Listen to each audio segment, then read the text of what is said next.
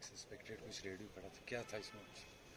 Today morning we received one information कि यहाँ पे एक ग्रेनेड पड़ा हुआ है, जो हमारा गुजर मंडी के आस पास वाले एरिया में। वहाँ पे हमने सर्चेस कंडक्ट किया और वहाँ पे इससे हमने एक ग्रेनेड रिकवर किया। उसके बाद एक इन्फॉर्मेशन आई कि यहाँ पे कोई सस्पेक्टेड मटेरियल प्लेस किया गया है, जिसमें आईडी हो सकती है, मगर we have checked it thoroughly ऐसा कुछ भी नहीं है it is rumour and we have uh, brief, uh, beefed our security, we have increased our security, we have tightened it uh, in view of the DDC elections, and the rest of the things are fine.